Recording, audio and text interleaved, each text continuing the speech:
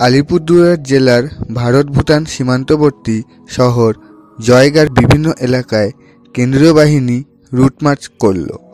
এদিনের কেন্দ্রীয় বাহিনীর রুট মার্চের উপস্থিত ছিলেন জয়গা থানার আধিকারিকরাও।